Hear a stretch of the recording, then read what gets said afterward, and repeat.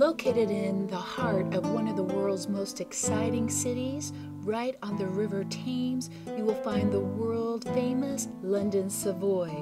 The 1904 sculpture of Count Savoy was put back in place in 1930 on top of the new Savoy sign.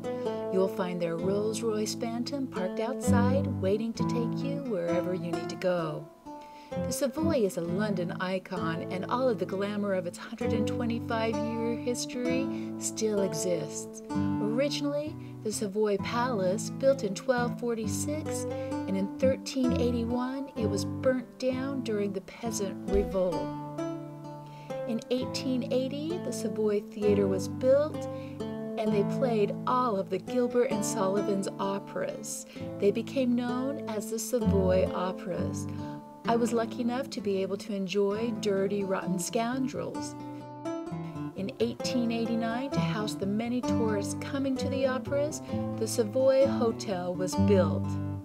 In 1910, they began buying up property on the Strand for expansion. In 2005, it was purchased by a Saudi Arabian prince who then handed over management to Fairmont Hotels and Resorts.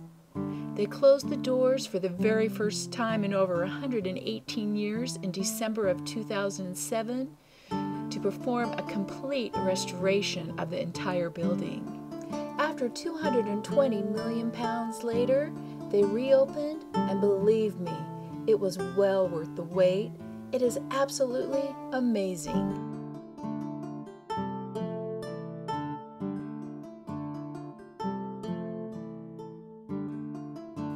Offering breathtaking views, all 73 suites, and 195 guest rooms. Arriving, I was given a bowl of fruit as a welcome gift. All dedicated to the famous people who have stayed here. They offer marble bathrooms with walk in showers with giant shower heads, and they use Le Label amenities. Offering a nice workout area, and their swimming pool located in the atrium offers natural lighting. Here you will find some of London's finest restaurants and bars. Kaspar's, serving seafood with amazing panoramic view of the River Thames, the American Bar and Grill, the Thames Foyer, famous for their afternoon tea,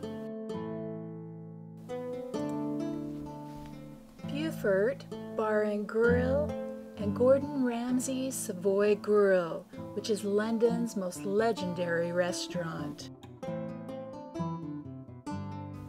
Well, thanks for joining me on my tour of the London Savoy, and for more must see destinations, please subscribe.